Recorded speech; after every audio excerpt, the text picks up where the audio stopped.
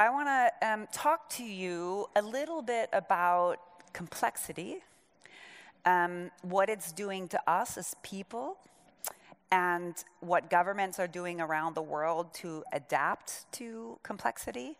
And then I'm going to share some ideas um, and not necessarily promote them as good or bad, but ideas about how people are embracing new ways of working. And then we'll do some, some talking with one another. So, first, um, I just did that. So, first, I want to hear from you. So, get out your phones. We're going to do a, a Mentimeter.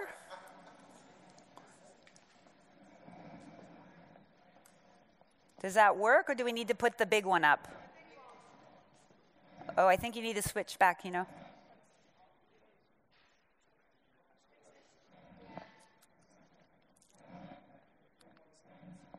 Besser, yeah?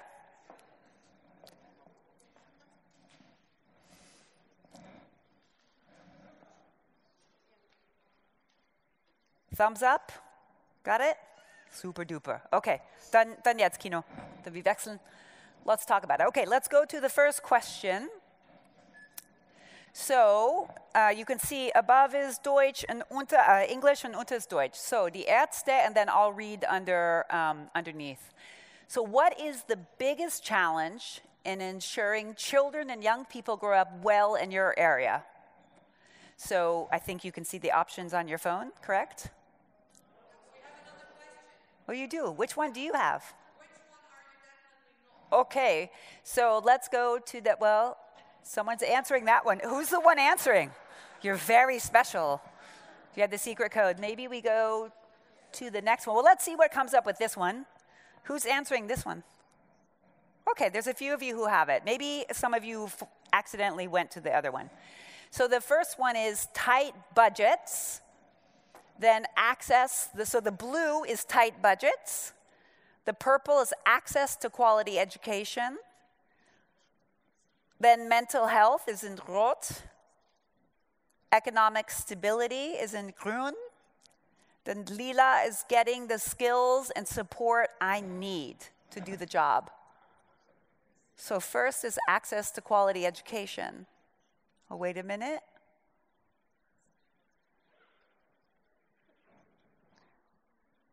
You imagine this would be a different answer if you're in Kenya, right? Okay, next question, bitte. Okay. Um, how would you rate the complexity of children's youth welfare planning today? How complex is your work? Super easy, right? Yeah. So, extremely complex.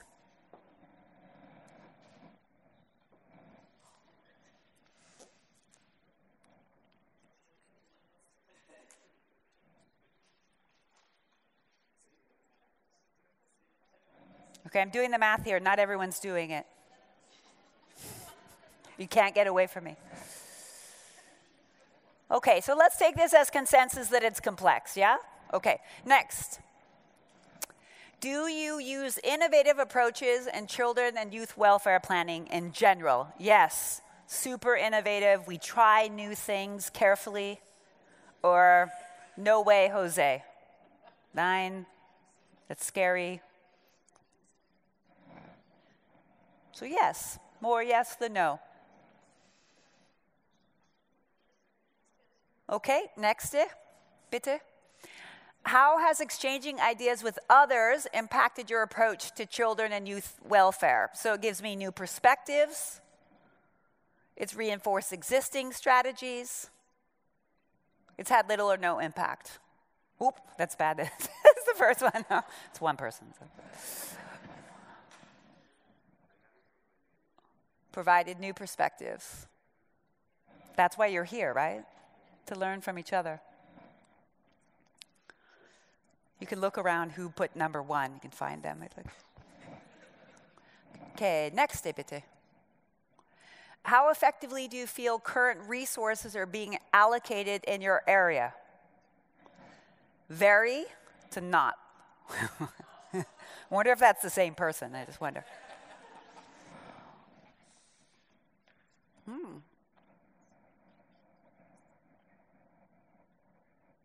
I, I didn't mean to make that one red, but it seems like that just worked out.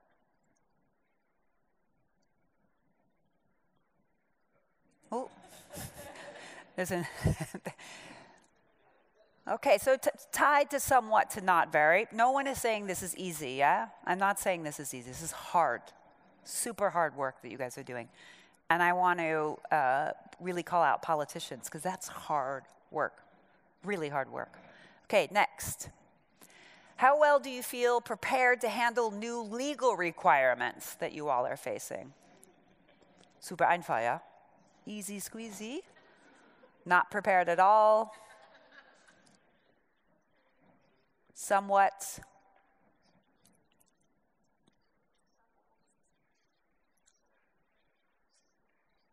Again, the very prepared person have another drink with.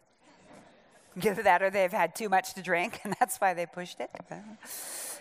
Okay, not very prepared to, so you can see we're at that end. Okay, next. Would you define yourself as a systems thinker?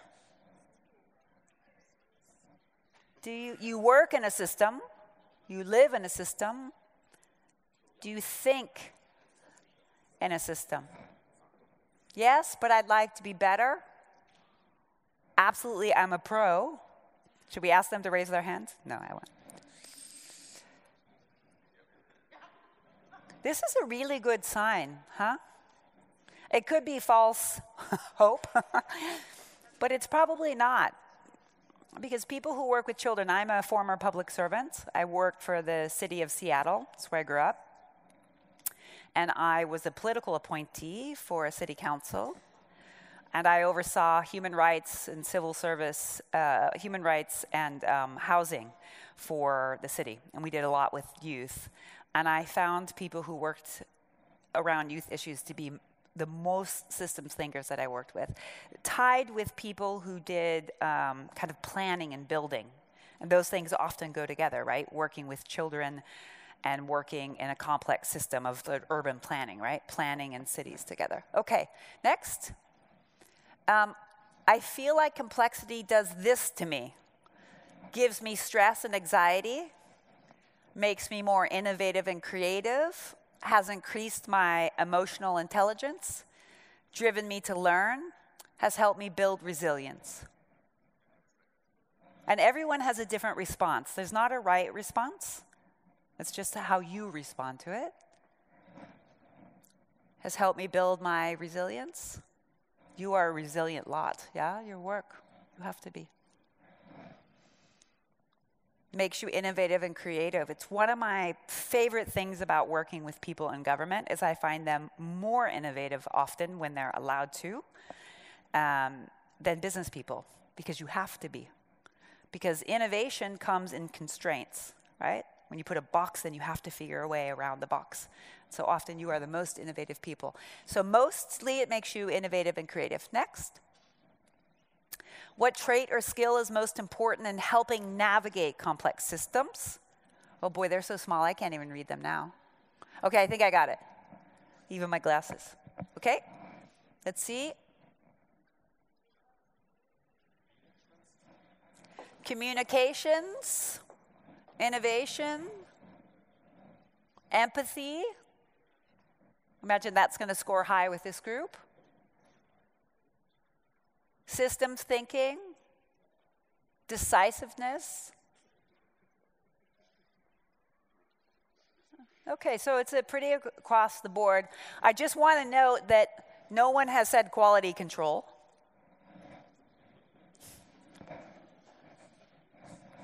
Nicht schlecht.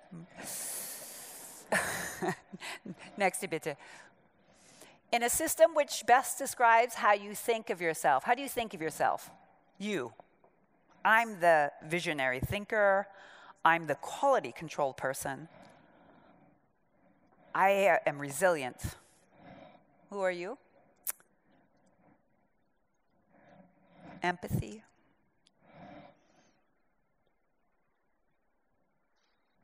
Empathy and systems thinkers. Look at look at all you empathy people, eh? Beautiful. And important in making decisions. It's not just a nice trait, it's a critical trait. Okay. It's one I, we do a lot of work on helping the next generation of politicians. It's something we really look for. Okay, I think there's one more. Are we done, Kino? Okay, which are you definitely not? So, what is your like, I'm definitely not that person? I have no empathy, or I don't care about quality control or communications. Yeah.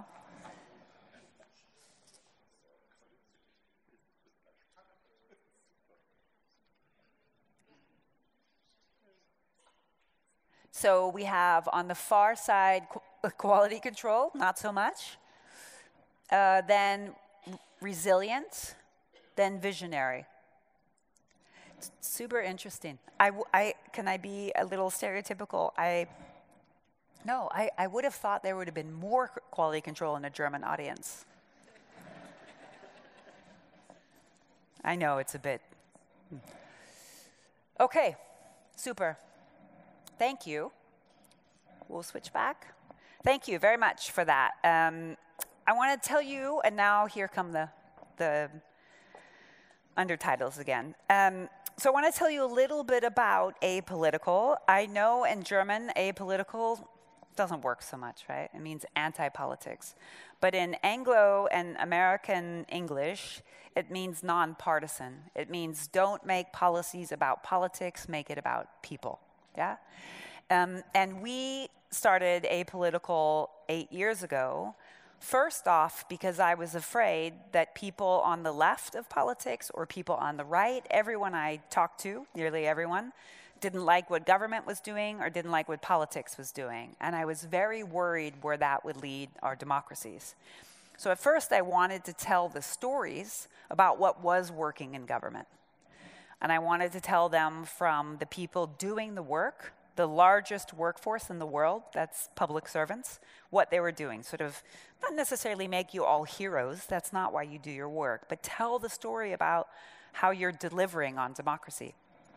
So we went around the world and we talked to young people in government and old people in government and men and women and all different races and everywhere.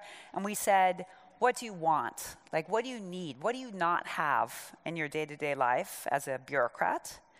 And I really thought, because I'm a smart person, right, that they needed access to great ideas. But first, what they said was no matter where I was in the world, they said, I want to feel appreciated. I want to have a community. I want to learn from others. I want to teach others. And then I want to go out and get the new ideas. But the first was I want to feel seen and part of something bigger because that's why a lot of people go into government. And so that's why we founded Apolitical. We are now the largest network of public servants in the world with nearly 300,000 members from 170 countries. And our job is to simply provide a space for people to come learn from each other about how someone in Togo deals with child welfare and how you might learn from someone in the Arctic and how you can sort of not recreate the wheel, as we say in English. What is that saying in German? Yeah, the Gleiche, yeah. Now, how do you how do you not make the same mistakes over and over again? And I went in thinking, oh, you can't learn that much from other places because the context is too different. But guess what? There's more alike than there is different. You have to adjust for maybe people in Leipzig don't like football as much as people in Bremen Okay, so maybe football is not the thing, but it's still something outside that gets them moving. And so now we have this large network that they even go on vacation with one another, their families, to talk about why they do their work. So it's been an honor of my life to travel the world and meet people from Sydney to Kenya to um, Malaysia um, to Brazil. Brazil is our fourth fastest growing audience on the platform. Um, there's been a lot of political change in Brazil, if anyone's looked at in the last couple of years. Um, and you can see that we have people from, oh, the map is gone. Whoop, sorry. Um, we have people from all over. We have people from Chile, the Office of the Mayor. We have sustainability people in South Africa. We have advisors to the Prime Minister in Australia, learning development in the UAE, and so on, right? And what we find when we deeply listen to people in government is that the things that they really care about are often the skills and mindsets, which is why I asked you, because many of us go to school and get a master's in public policy. Who has a master's in public policy or public administration? Only a few of you. Okay, fascinating. Um, but a lot of the skills that you need day to day are things you need to practice every day. It's not just you know about finance and budget. So the four pillars that we really work a lot on is climate. How do we think about climate and government? Equity, um, digital skills, AI, and peace and security. But I personally have spent a lot of my career in public policy and early childhood development, so zero to five, zero to three. So there's a lot of work we do in, in that space. Now, I think one of the interesting things going on, and we won't talk politics here, but I think this is being reflected in our politics and maybe in our election last weekend, is we have 18th century politics, 19th century government um, institutions with 20th century technology. I don't, I don't want to be mean to the Germans, but there's more fax machines in the German government than there is, I think, in all of other governments combined. Um, and we have 21st century opportunities and 22nd century needs to look forward, right? Need to look forward. And so we're stuck kind of in these old institutions with new problems and new solutions. And this needs to change if we're going to sort of adjust to take the best of the past and integrate the best of the new carefully. And so I wanted to start off with meatloaf because um, hackbraten, yeah? Good. Because um, there's a story I once heard about hackbraten in Ofen. And uh, it's a story of, sorry ladies, a, a woman makes hackbraten at home. She puts it in the pan, she sheaves it in the oven, she cracks the door open. And her man walks by and says, for God's sake, why did you keep the oven door open? We have a climate crisis. Close the oven door. And she said, Nein, nein, Mama, immer macht das. Immer, wieso? Okay. Then, like, that's just weird though. Why would you have the oven door open? And she said, Well, that's mom. So they call mom and say, Mom, mom, why do you leave the door open in the oven for the hackbraten? Yeah, because my mother always had the door open. So, oh, well, why did she do that? So, I don't know. We have to call Oma Oma. So they get Oma Oma on the phone, no WhatsApp, old phone. Oma Oma, why do you keep the door open in the oven? And she said, why would you ever keep the door open in the oven? Opa and I had a very small kitchen and a very, very small oven and a big pan. It was the only way I could cook enough hackbraten. And I want you to just take a moment and think about what in your day to day life and your work is the open oven door. Really, I want to take you a minute and I want you to turn to your, your partner here and say, In my work, this is the Hackbraten oven door. What is it? That it's just, we've always done it like that. What is that? I'll give you a minute. You three can talk together. you too. You too. I see you. You're thinking, right? Thinking.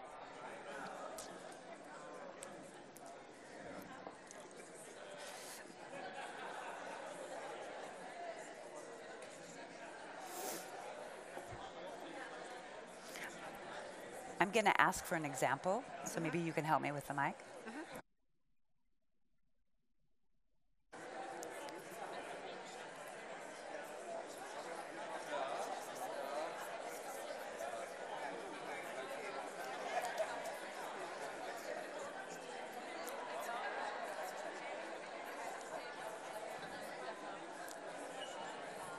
Got a good one? Okay, who has a good one? Anyone have a good one? Anyone have a good idea, a good hackbraten oven? Nay? Do you two have a good one? Here? Yeah. Do you have a good example? Anyone have a good example? Ah, that brave, brave man, yeah? Here comes a microphone. Now you get to be a star. In Deutsch ist okay, dann wir reden so. Because I've got no idea what that would be in English. Sachberichtsbögen. Was ist das? Exactly. um, we, we require our um, uh, people work, the social workers to basically write five-page documents if they want to have 50 quid uh, for like some glue and scissors to play with children. It's, it's incredible. It's uh, yeah, it's just a terrible practice and waste of money. Uh, and we have no money, so we have to keep ourselves busy with these forms. Mm. That's that's the only explanation. Anyone else feel that pain in the system? You Germans are very special people. there are a lot of forms. It's the only government I know that still puts out job listings for binder movers. Do you know you have people in your government who take binders from one part of a building and they move it into another part of a building? Day in and day out. The only government I know that does that. My driver's license from Washington State is sitting in a binder somewhere it's the only country that takes the, okay, anyway, binders. Okay, so I just want you to be thinking about so much of the changes we need, feed the change. Not all change is good, yeah? There's change that can be bad. But the good changes we need, sometimes it's not about the idea, it's about the mindset, yeah? It's like, why do we do things the way we do? Just ask. Maybe there's a good reason to keep the oven open, but maybe there is not. So, how many people feel tired lately? Anyone want to admit? Ganz müde, yeah? This is, yeah. There's a trend going that people are tired, and this is also not just because of long COVID. That is a real thing for many people too. But one of the reasons is, is because complexity hurts the brain. And it's true that almost all of us, unless you don't have the internet, um, are, are getting more information all the time, right? Um, and what we know, as you can see, is that it really reduces our ability to think quickly. This is at a time when we need to be thinking better than before. Our minds are really challenged. 90% of people experience cognitive overwhelm. 90%. Now imagine our children, right? What they're, maybe they'll adapt. Maybe their brains will adapt. I, I don't know. And 75% struggle with problem solving. So at a time when we have complexity. Some of you have big resilience. We have really hard problems to solve. And so, what do you do about that? How do people deal with this in your life now? Anyone have an example of how you deal with it? How do you deal with this tiredness, this overload? Do you know how they deal with it in the military? You may not like the military, but do you know how they do deal with it? Okay, I'm gonna show you. Then sit down, and we're gonna can you put your hands on your, put your feet on the ground? Maybe you do this. How many are frontline with kids every day? Immer mit Kinder, ja? So, we're going to breathe together because the only way we know reducing complexity can be difficult. But what we're finding, even on trading floors and finance companies, people are breathing. So we're going to do box breathing. Anyone heard of box breathing? Yeah? So you breathe in for four, you hold for four, and you release for four. Four times. Wie viele? Vier. Yeah? So I'll help you. Ready? You can close your eyes, relax a little bit. Okay, in through the nose. One, two, three, four. Hold. And release. One, two, three, four, and hold. Into the nose, through the belly, not the chest. Hold. And release. hold. The next two are on you.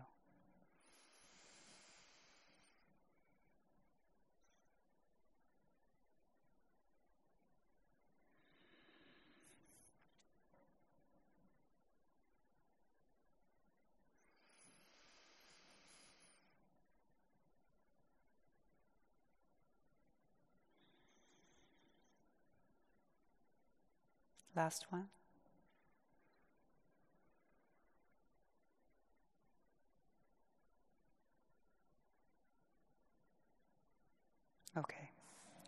Does that feel different? How many teach the kids you work with on the front lines to breathe?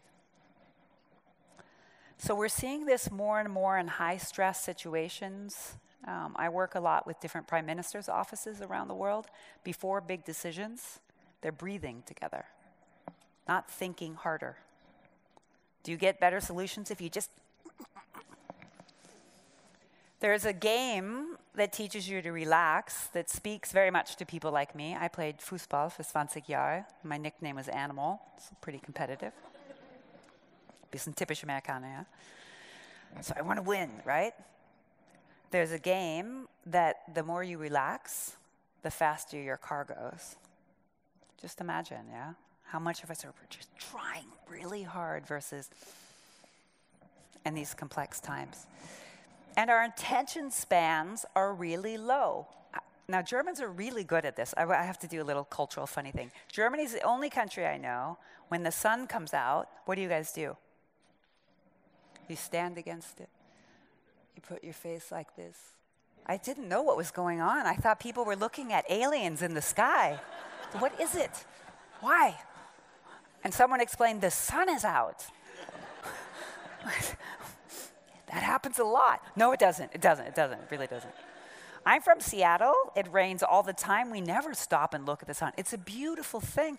I go to doctors' offices in Berlin, and in America, people have their laptops, right? They're waiting for their doctors, and the Germans are sitting. It's beautiful. How do you do it? So maybe you all have good attention spans, yeah? Maybe how many people read books, fiction, like not just Kindle, but real books, real books? See, I mean, you would go to almost anywhere in the world and it would be the other way around. Good for you. It's much better for you, right? This attention span, because most people are crap. 12 seconds, the average attention of a human in 2000, 12 seconds. Now we're at nine seconds, which is the life of a goldfish. So just think about this. We're stressed out, things are complex, you all have to h- solve hard problems for kids, and we can't concentrate. So I think I've just figured out Germany's competitive advantage for the next decade looking at the sun. Can we build that into the next coalition agreement? Like, it should work. So it's a hard time, right? It's a hard time. And having these personal sort of how do you take care of yourself in the context of solving hard problems is important because you're not machines, you're people. So, how are governments adapting to all this complexity? Some faster than others, and I'm going to give you some examples. So, one thing that has come in that we've, you know, there's always been an issue with climate, but it's accelerated, or at least most people, not all the people in my country believe it, but most people think that it has. Um, and so, what they've taken, we're seeing much more of a center of government approach. That's even in systems that are quite dispersed, like you have in Germany. You have a system of lots of different. How do we come and solve problems? Now, this is in um, uh, Rio de Janeiro. So, they had a new mayor that said, I'm going to have a dashboard up all the time, and I have data. I know data is an issue for Germans. Um, for good reason, and we can think and talk about that carefully. But there's a center of government approach because a kid's life just isn't in his life. It also has to do if the garbage gets picked up, right? And if the air quality is good and if the transportation is behind. So this is a big trend we're seeing is a much more centralized approach to government. The next thing we're seeing is you all were a very special group. Um, a lot of emphasis on learning about how systems thinking works, actually stopping and really learning. We have communities on apolitical, and this is there's two fast growing communities. One is on neurodivergent people in government, so people with autism and neurodivergency, and the other is systems thinking, which I find really interesting. Um, the next is silo busting. How would you translate the menu? How would you translate silo busting in German? Aufbrechen wäre meine. Also Wie heißt das? Silos aufbrechen. silos aufbrechen. Yeah, it's pretty good. It's good. Um, we're seeing more and more people in government wanting to get out of I work in transportation, I work in the environment, I work in education, and there's lots of ways that they're doing this. Um, and one of the ways that many governments do it is they move people around. How many people worked in a different, didn't work on children's issues one year ago? Two years ago? Three years ago? I know your hands would stay up. Four years? How many have worked in children's issues more than 10 years? So, so most of you, it looks like seven or eight years. How many seven or eight years? Okay, interesting. In governments, oftentimes people move around. At the city level, they tend to stay put um, a little bit more. So in Canada, we see purposeful people moving around to understand the different divisions more. They even move around and do something crazy. They go into the private sector and they learn, and then they come back into government. Um, and then we also see something, and maybe you have this in Germany lots of coordinating ministers. What would that be, German? Minister, die koordinieren. Also Ja, das Minister, ein bisschen mehr. Kontext wahrscheinlich, aber ja, so in die Richtung. So I'll give you an example. In Ecuador, anyone been to Ecuador? Ecuador? It's amazing. It's a really amazing place. A friend of mine was the coordinating minister for children. The, the prime minister president at the time wanted to really put children up first, so he brought this woman in who was really good at building relationships across different from finance. Where's the money? It's in finance, yeah? Across finance, across the environment, across education. And her job was to bring everyone together and build that bridge. So we're seeing a lot more desire from people in government around the world to silo bust. We're seeing a lot more interest. This is a quote that came from our site about thinking about your sphere of influence. So, what is your role in working in youth and child issues to be the sphere of influence that breaks down those silos? Because it's very hard to do things if you just work in your lane, right? You need to change. The things that I'm most excited about is the approach of much more multi solving or co benefit thinking, right? So you just don't have a program that's good for kids. This is something called Urban 95. Has anyone heard of this? So the project I've worked on, I don't know, for 10, 12 years now. And you can see it puts the child and the caregiver at the center. Many cities around the world, so 95 centimeters is the average um, height of Kino's a three year old. It's the average height of a three year old. And instead of putting transportation at the center or parks at the center, you put child and caregivers and you make family friendly urban planning, or you make um, services that are closer to transportation, or you make healthy environments. And I will tell you that mayors are running on this as a platform, and across different political parties are winning because they're putting families at the center and helping solve problems. So, this multi solving versus individual policies. We're seeing a lot of um, use of participatory governance. Why? Because we're dealing with really controversial issues. Should we have a re- vaccine requirement or not? What should we do about climate change? Um, this is on the end of life in France. This was something that they brought citizens in. Has anyone heard of citizens' assemblies? Heard of them? They're definitely gaining. There's been a bunch in Germany. I think one on climate, a big one on climate. Um, I think it's really the future. This isn't about town hall meetings. In America now, if you go to a town hall meeting, it's the scariest thing you can imagine. Literally, people have guns. They, they yell at each other.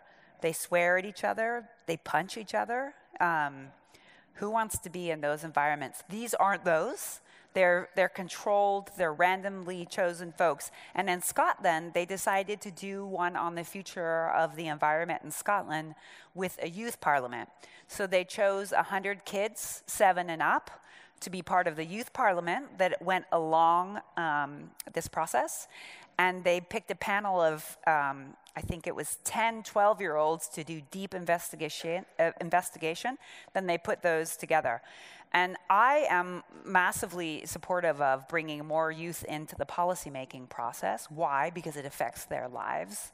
And it's really, really important. When I was 15, I was asked to come in a group of five other kids to decide how to spend $500,000, which when I was 15 sounded like $5 billion, in my community. And when we came up and we had to learn and make hard choices, right? It's a hard choice. Are you going to fund this kid's program or this kid's program? That's what these choices are about. And I learned that very young. So the more we can do these participatory processes, you don't just outsource the complexity, you bring the community along. And I'm super excited. We're doing lots of um, work with politicians around the world on how to support these processes. Um, a lot of use of foresight units. How would you translate a foresight unit? Ähm, also Foresight ist ja eine Methode, ich habe es, glaube ich, ins Handout mit Weitblick, also für die Zukunft planen, strategische Vorausschau, genau. Ja. I don't think there's one in Germany. Does anyone? I haven't heard of one. It's a growing trend. Countries that you would think have them. Finland does one for, I think they have as far as go out as, like, I think it's 250 years. So they do 250 years, 100 years, 50 years, 20 years. And then this helps sort of, instead of just think about public policy in election cycles, which there's a reason we have elections, you can have a much longer view of how you think about where things are going. Singapore, there's really great stuff. And you can even do participatory foresight, and you can bring in lots of data. So you can't predict the future, but you can have an idea of the different options so you can be prepared. And I can guarantee you there aren't more fax machines, although maybe there will be more fax machines in our future. Um, so complexity is happening. It may hurt our brain. We can adjust to it. We need to have good attention spans. And it's not just enough that you can handle it, but we need our governments to look at the open oven door and say, what is not serving us anymore? With the systems we have, yeah, to do that.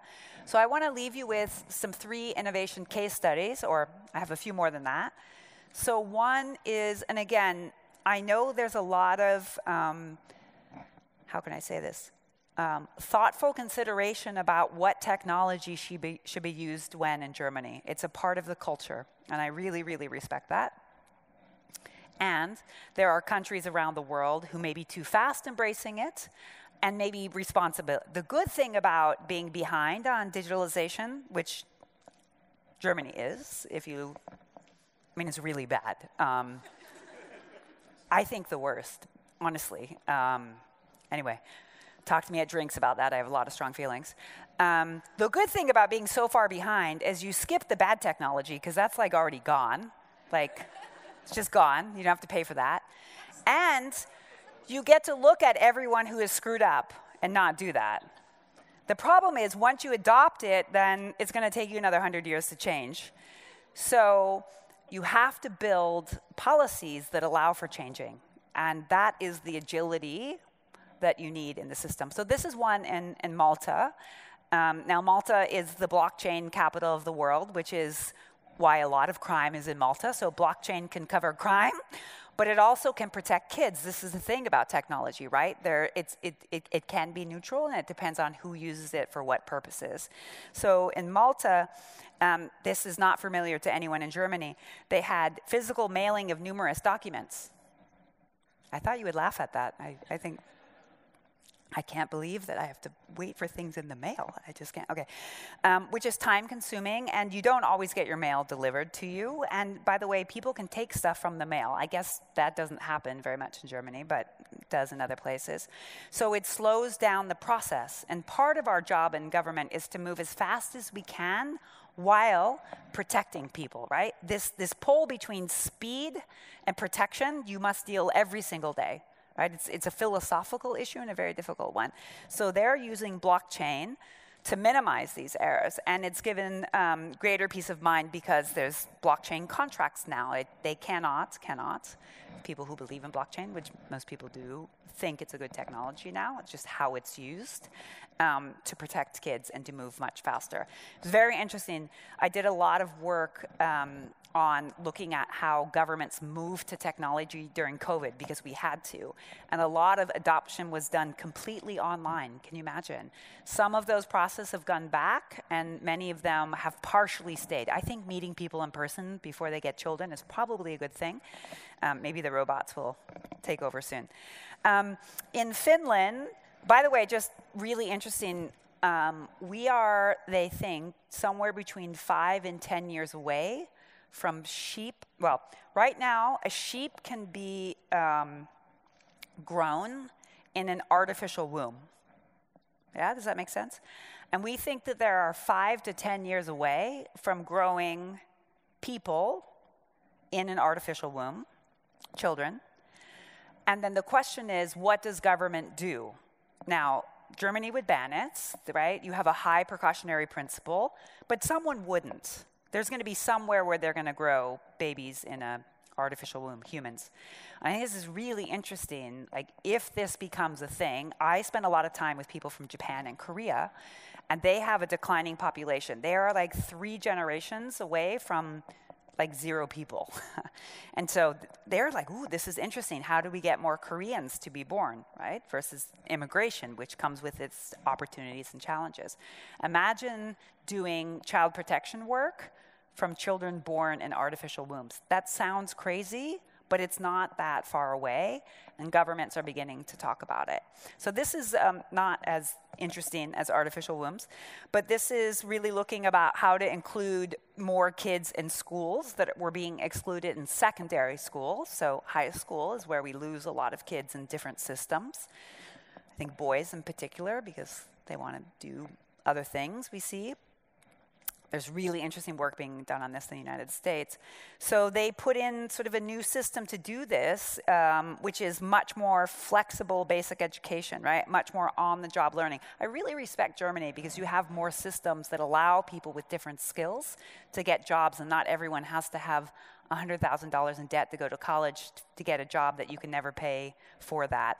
But it, this system, and I put this up here so you can look more into it, has reduced dropout rate by 90%. I mean, when you look at something like this, isn't this something you want to investigate? You might be thinking, that won't work in Germany, but it might. Yeah? How could that work? Next is, um, I'm going to skip this one for time. Then I want to talk about what's going on in Allegheny County because I find this really interesting. Allegheny County is in um, Pittsburgh. Um, Pennsylvania. I've spent a lot of time in Pittsburgh. And the problem there is that it's really hard, I'm sure some of you know this, to screen when kids aren't being treated well. How do you actually know that that's happening? And so you take papers and you meet people, and then you take papers and you mail papers and you meet people, and then you have meetings and you wait for a meeting and you schedule a meeting and then you talk to people.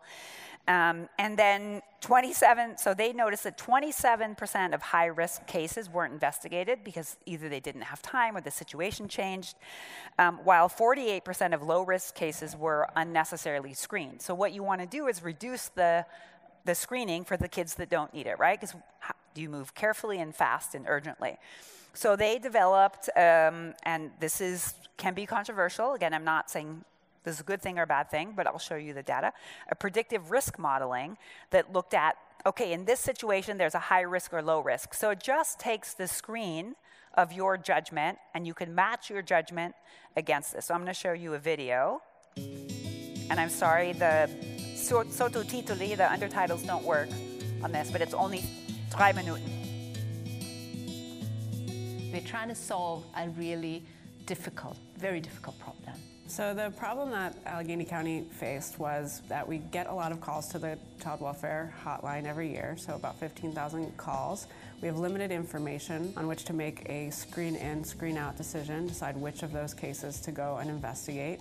And we thought we could use the data that we already collect to support decision making on the front line. So the Allegheny Family Screening Tool at the broadest level is a forecasting tool. It tries to give an idea to a frontline worker, given the background history of this family, what the chances are that this child will be removed from home. The methodology we use to create the algorithm, in very simple terms, is we do a statistical technique called data mining where we're basically looking through millions of patterns in the data, in historical data, seeing how it correlates to outcomes, and then matching each new case with those patterns that we've seen in the previous data. Well, data is still a driving force, and as we go forward, it's going to be more and more important.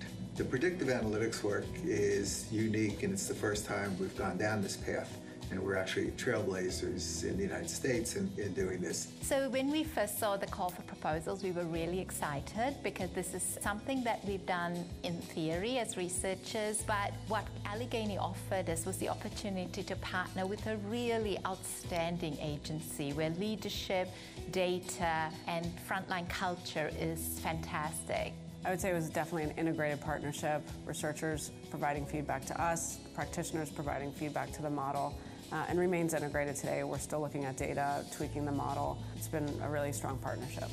The taxpayers pay our salaries, and they expect excellence, they expect the best possible service, and they expect us to keep children as safe as possible and to keep them protected and, and out of harm's way. This tool enables us to do a better job with that. No one thinks that our child welfare system is making perfect, unbiased decisions now. We know that racial disparities, class disparities, and unevenness across workers is present. And so the question is on the margin can tools such as what's been developed in Allegheny County help to improve and standardize practice and hopefully make it less biased as well? People are used to researchers like us sitting in our office doing our data crunching, writing papers.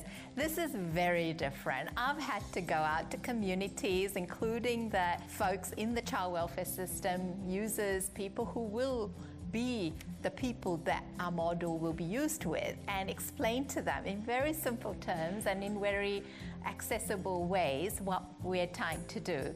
So I think that's been the challenge, but that's been the pleasure for my research group. I don't know the answer. Is any part of Germany using predictive analytics on child welfare? That wasn't meant to be a funny question. Yeah. I mean, it, the good thing, like I said, is you don't have to be the pioneers. You can find them, I know this is obvious, and talk to them about what's worked and what hasn't. I want to say something that she said that may have um, skipped over. She said, No one's pretending that we don't have biases already as people. The data is not driving their decision making, they're making the decisions, it's informing their decision making. So imagine if we have data that can inform our decision making that is carefully held and protected, that helps us protect kids quicker. And I think there's a lot of room to carefully learn from others about how to bring this to places that don't have it.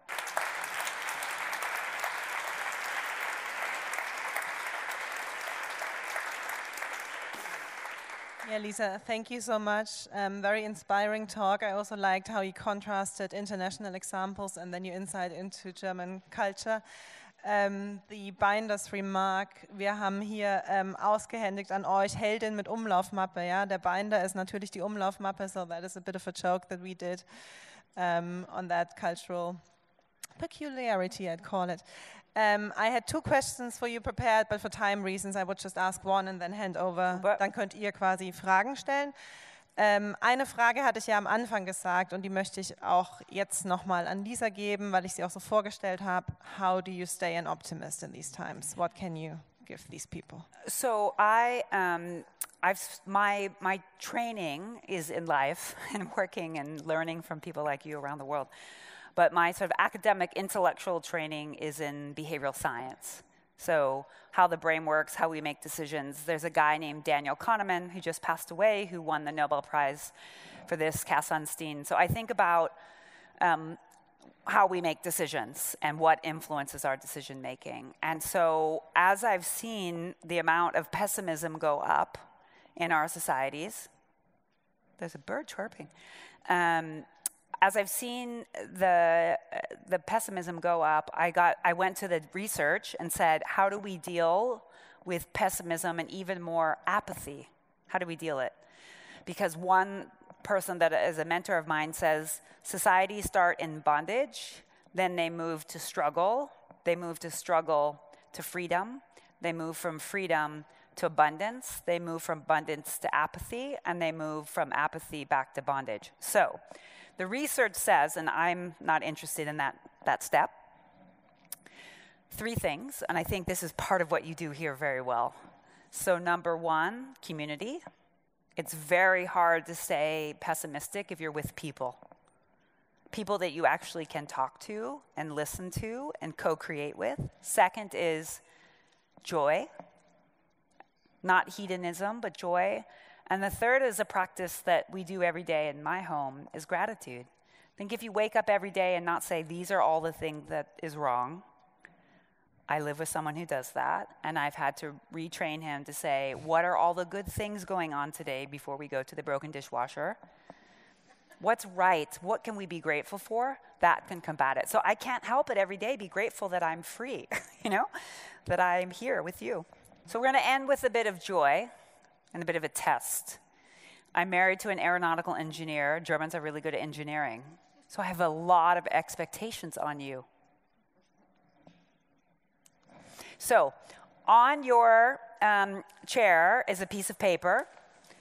Um, and what I'm going to ask you to do is, I want you to write down your one word takeaway from my last really precious hour with you all. I want that, write down your name and then make it into a paper airplane. Okay? And throw it up. Eins, zwei, drei, jetzt!